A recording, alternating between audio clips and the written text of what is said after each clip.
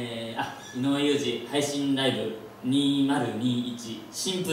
ルへようこそ。イエーイ。ねえ。配信ライブ独特ですよね。お客さんがいなくて。今頃はチャットは盛り上がってくれてるんですかね。まあでも変わらずライブをやっていきます今回のライブ「シンプル」というタイトルにさせていただいたんですけどあの、まあ、シンプルってすごい、まあ、よく聞く言葉だと思うんですけど意味としては、まあ、単純なとか簡単に手軽にっていう意味があるんですけどまあ配信ライブなんで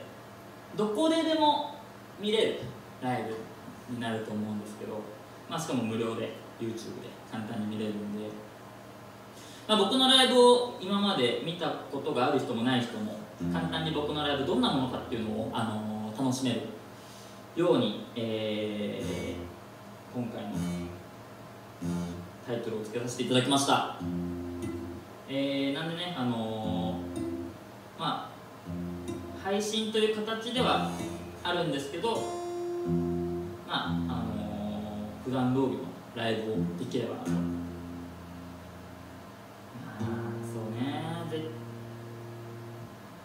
全部同じようにっていうのは無理かもしれないんですけど でもなるべくねその楽しめるようにやっていければなと思っております。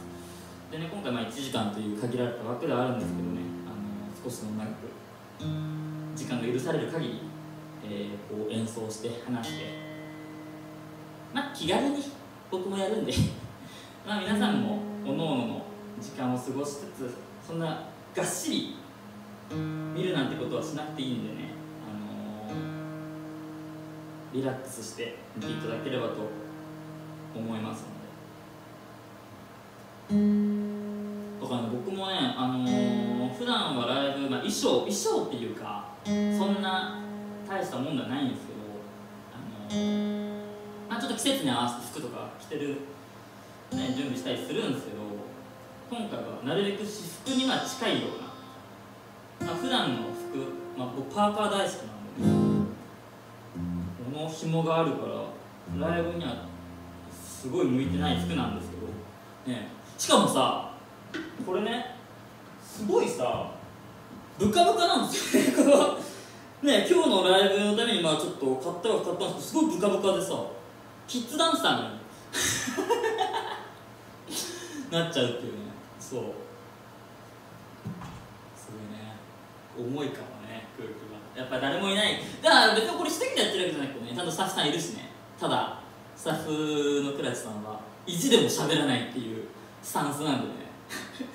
まあ、倉地さんが思わずふふっと笑ってしまうぐらいね面白いライブにできれば一番だと思うのでね。ありがとうございます。今拍手してくれる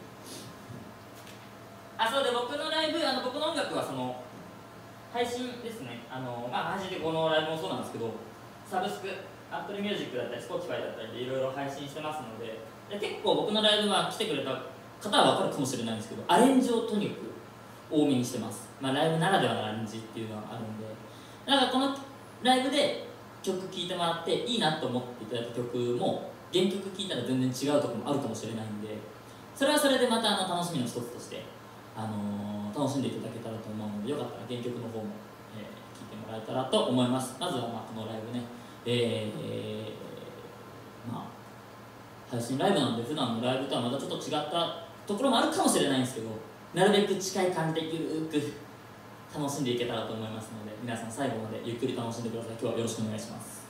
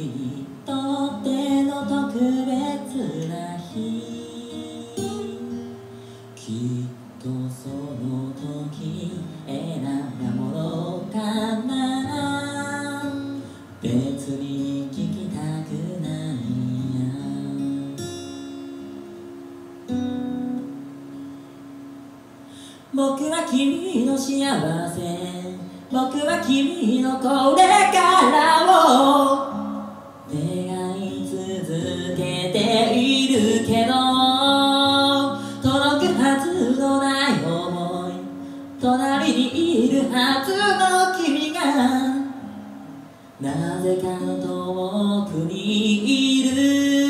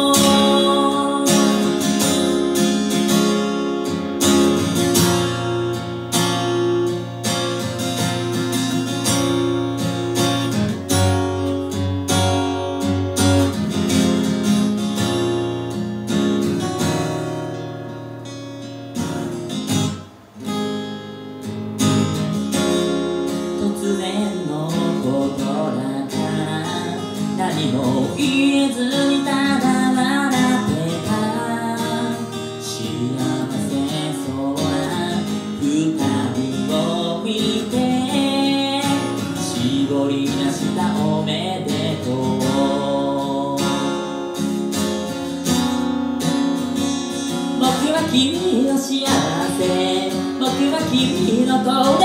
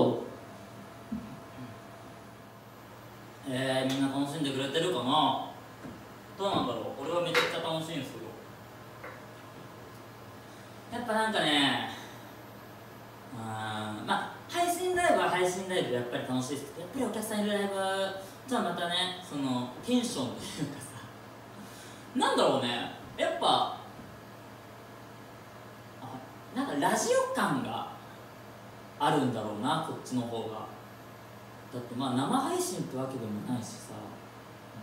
そうで普段のライブだとまあそのお客さんとね適当に適当にというかその時の時々で話すことまあ違うんですけど、まあ、その場でいろいろ会話したりとか話したりするんですけど、まあ、今回お客さんがまあ今この場にはいないんでどうしようかということで前回の配信ライブの時もやったんですけど僕あのラジオを、まあ、この IU の方さん系列の、まあ、アイミックサクトリーってその会社の、えー、協賛のもとやらさせていただいておりまして今7年もう8年目か。7年目かな。月1でやってるんですけどそこで、まあ、前回と一緒でそこでメールをライブ用に募集しましてなんつうかねちょっとメールノートもう本当にラジオだよねそうなるとね。うん。まあまあまあ普段のラジオはどんな感じでやってるかっていうのをこう見られててあれなんですけど、まあ、それでラジオもよかったらあの井上裕二身の丈ラジオっていうラジオ検索してもらえたら聞けるよかったら聞いてくださいネットでいつでも聞けるんで、ね、じゃあちょっとメールを読みましょうかね。何個か持ってきて。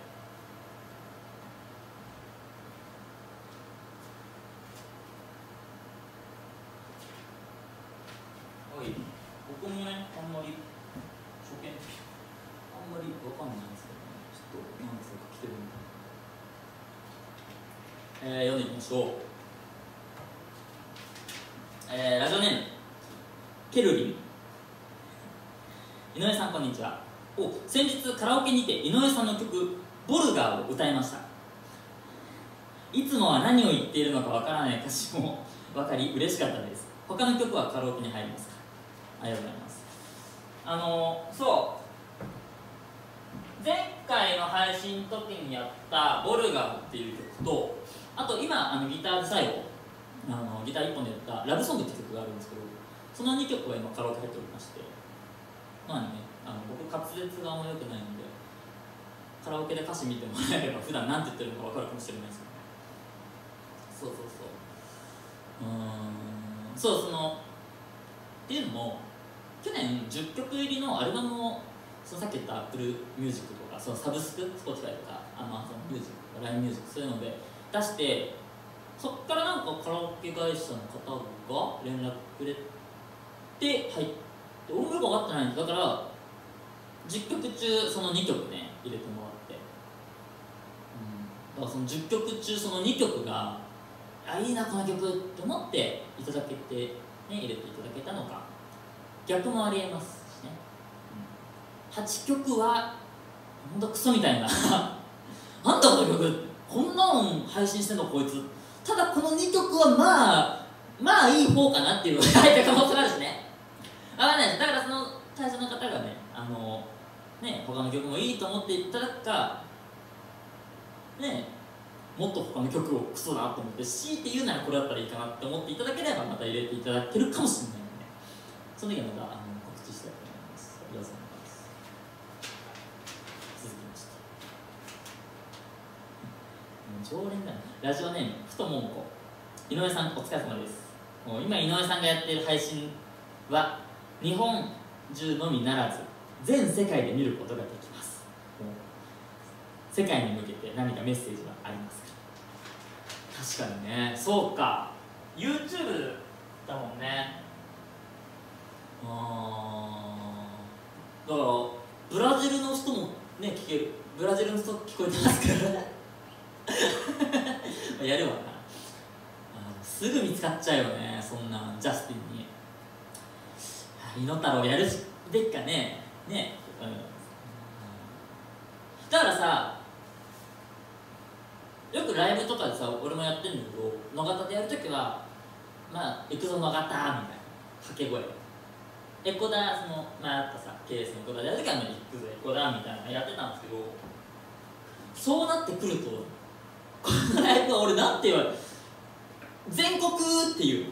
全国は日本だもんね。なんか高校球児みたいなもんね。全国ってね。ってなるとやっぱ地球っていうのは 行くぞ地球っていうのは他の惑星の成人しか言わない言葉でも行くぞ地球ってああいいですね世界っていうのもなんかねありますし、ね、ちょっと考えてみます。もう一つぐらいねとかね話してラジオネームみゆゆ黒歴史を教えてください。もう黒歴史。今ですかね 嘘嘘嘘嘘だけどでもさアーティストねそれこそメジャーデビューしてる方はさておき、まあ、インディーズで活躍してる方このライブハウスでやってる人には多分共感してくれる人多いと思うけどやっぱりさライブとかやってたりさ俺それこそラジオとかやってるとさやっぱ地元の友達とかっていじるよね。お前あの曲聴いたよオリジナル曲。お前あの歌詞いいねみたいな。あと親とかねいじってもう親がめちゃくちゃ俺のこといじってくんのよ。実家とか帰るとさなんか机からノート出してきて俺が書いた歌詞とかをさ広げとくんですよ。地獄だよね、うん、まあまあいじられるのは別に俺嫌いじゃないし、ね、面白くいじってもらえればいらないしね。そう。前その携帯販売俺やってた仕事でやった時があってでまあ電気屋さんの携帯販売コーナーでまあその携帯コーナーの、まあ、リーダーというか責任者他のところでも店長みたいな、まあ、部門だけど部門リーダーだけどそうやったところがあってその時にさまあ、ちっちゃい店だったんだけど俺が出勤してで、まあ、開店準備やってたらなんかね携帯コーナーってさあれあるじゃん。デモ機？携帯あのみんなが触れるアイテムとかさいろいろあると思うなんか聞いたことあるよななんか声聞こえるなあ流しっぱだあ消さないと近づいてもさ「身の丈ラジオ」って俺のラジオ流れてたデモ機からものすごいいじられ方だよねまあ超笑ったけど俺はしかもそれやったのさ学生のバイトだから店長のこと学生バイトはいじれる職場でどんだけいい職場なの？よくさ求人とかにさ和気あいあいとした楽しい職場です書いてあるけどさまさに本当にそれを体現するというかさ。どんな職場だよ。まあすごい楽しい職場だったし仕事だなと思うしいまだにねそこの人たちが中に、まあ、いじってくれますから。そんな感じですかね。えー、本当にラジオそのままというか。聞いたことあるリスナーからも見るとですね。マジでラジオはこんな感じでゆるく15分毎月やってるんで無料でいつでもどこでも、まあ、この配信と一緒で聞くことができるんでよかったら、え、井上裕二身の丈ラジオで調べていただければこんな感じのやってるんで聞いてください。よしじゃあもう後半戦ですね。えー、画面の向こうの皆さんもここまで見てくれてるかな？もう長いこと30分以上やってるよね？飽きてない？あのこっからちょっとねあのしっとり目が続いたんでここから盛り上がる曲なんかもねやっていこうと思いますので皆さん元気残っていますか？イエーイ！うわそうね配信ライブだとちょっとねどうやっていいか分かんないけど。よし！じゃあ皆さんも、えー、知ってる人は歌ってください。絶対知らないと思うんで。まあよかったら聴いてみてください。よっしゃ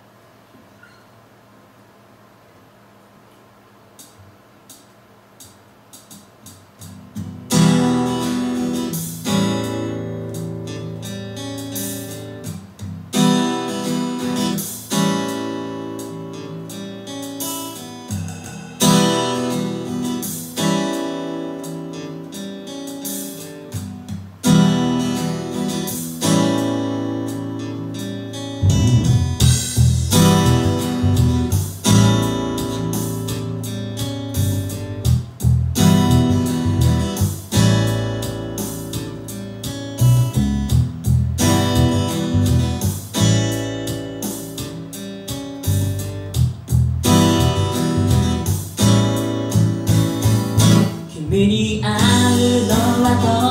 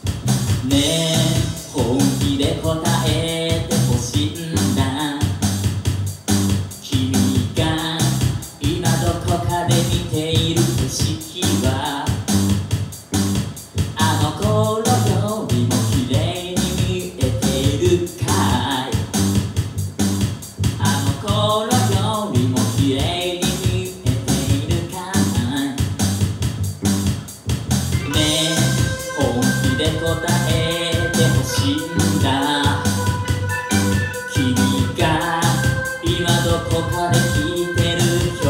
は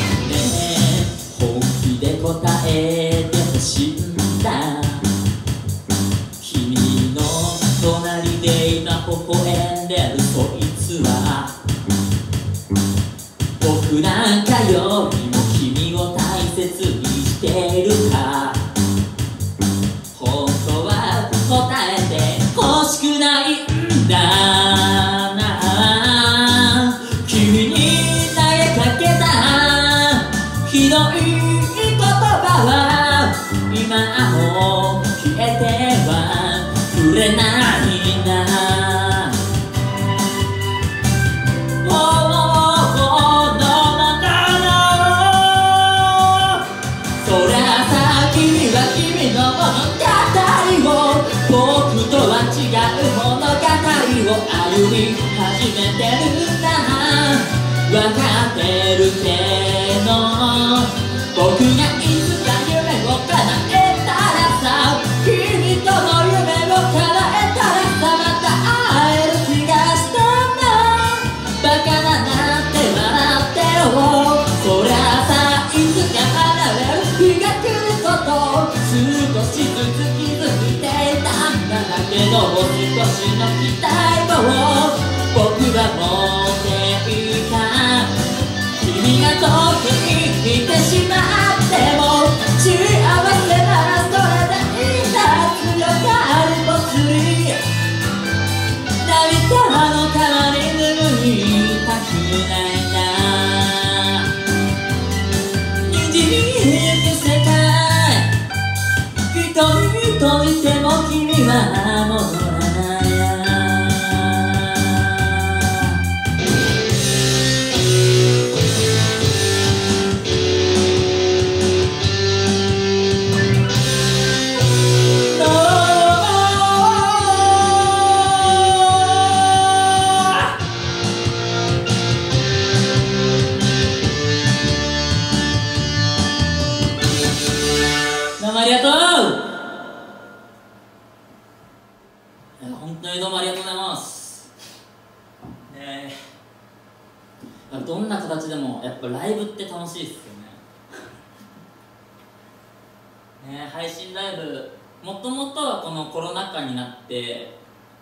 どんどん配信ライブやる人が増えてき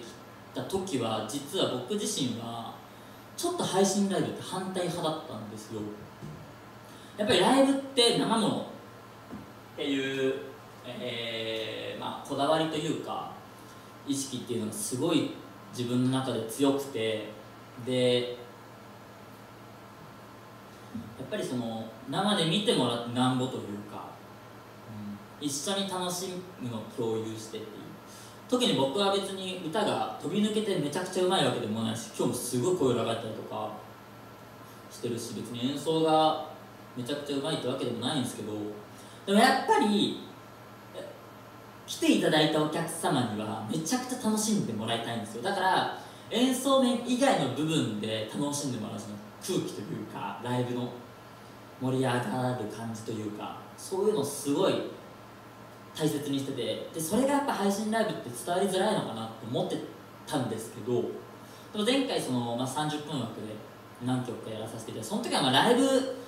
そのがっつりしたライブというよりはお試しというか自分の曲を知ってもらうって感覚でやったんですけど、まあ、今回こういうちゃんとタイトルもつけてでセットリストもしっかりと組んでライブという形でやらせていただいていてやっぱりめちゃくちゃ楽しいっす。で自分なりににはなっちゃうかもしれないですけどその普段のライブの感じ？そのゆるく やるとかゆるくやるし一緒に盛り上がりたいところは盛り上がるしっていう。で、まあ、メールなんかであったものを読んでって形になってるんですけどその場でしか味わえないものっていうのをすごい出せたかな。で、まあ、見ていただけてる方ね見ていただけてるかな、まあ、見てまあ別にアーカイブも残りますしいつも見れるっていうのが、えー配信のこのねありうの配信の良さでもあるし僕はそれを一個ライブの形としてシンプルっていう手軽っていうねものをタイトルつけました。なので別にアーカイブで見ていただいてもいいんですけど一緒に楽しんでいただけたらすごい嬉しいっすね。うん。また好評いただけたらシンプルボリューム2ボリューム3とどんどんね。まあ多分コロナ禍が収まってもこの配信ライブっていう形はなくさなくてもいいものではあるかなと僕は思ってるんで、まあ、どうなるかわかんないですけどこのまま続けてね普通のライブとまた配信ライブと違った形でね楽しめたらと思うんでね、うん、そうちょっとこだわりだって言葉をさっき使ったんですけど僕ライブかなり実はこだわりがあってライブ始めても78年ぐらい、まあ、このライブハウス IU の方をホームとして勝手にホームにさせてもらってるんですけどこでやらさせていただいたりあとは姉妹との今ないんですけどエコダの方でやったりとか、まあ、たまに別の箱も出たりしたんですけど結局ここに戻ってきちゃうっていう、えー形をしてただこの7年8年やってきたライブですごいこだわったる部分がやっぱ生の演奏。だから僕カラオケ音源でのライブって今までしたことがないんですよ。ずっと弾き語りピアノかギターのこの形態この形。ねすごい裏のこと言っちゃうとすごい面倒くさいセッティングだと思うんですけどでもこれをちょっと無理言って毎回やらさせていただいていて流すとしても、まあ、リズムだけドラムのリズムの音だけは流してあとは絶対生演奏っていうのを変えないでいたんですけどそもそも、まあ、それは生の音を楽しんでいただきたいっていう思いがあってなんですけどそもそもこの配信ライブっていうのは生ではないので何かだからだからこそ何か別のいつもと変わったことができないかなっていうので今日はあの、まあ、今回このライブは例えばエレキの音ですとかベースの音とか僕がギター弾く時はピアノの音も入れたりピアノ弾く時はギターの音を、えー、あらかじめレコーディングしてそれを収録してあのさっき言ったアプルミュージックとかに流してる原曲とはまた違ったアレンジを僕は絶対それはこだわりとしてあのどんな携帯でもそれは絶対変えないって思いがあるんで今日もそれはやってるんですけど。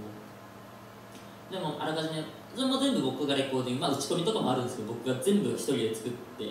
えー、プロデュースもしてアレンジも全部やって。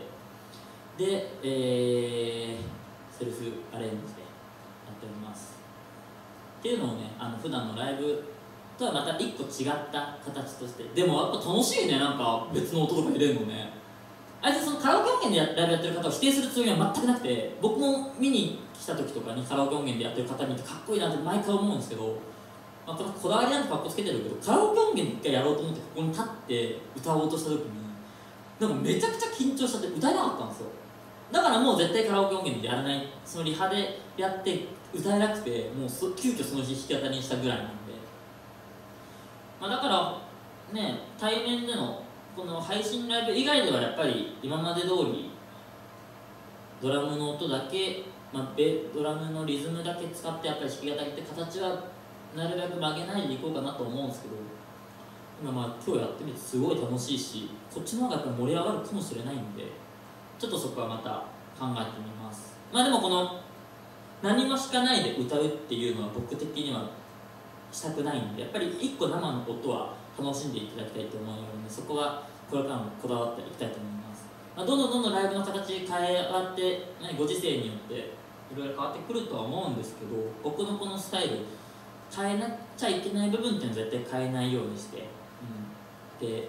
歌唱力とか演奏力以外の部分で皆さんに楽しんでいただけるようにと思ってる。もちろん歌唱力も大事なんですけど、まあ、それよりもバイブスとか気持ちで喉が枯れたっていいから叫ぶぐらいの歌で、えー、楽しんでいただけたらと思っておりますのでよかったらまた配信ライブもやると思うし、ね、普通のライブもやりたいと思いますのでよかったらまた遊びに来てください。今日は本当に最後までありがとうございました。どんどんアーカイブ残るんで友達とかに宣伝してもらえたら嬉しいんでうん。ラジオとか、えー、いろいろもろもろよろしくお願いします。井上裕二でした。また遊びに来てください。井上でした。ありがとうございました。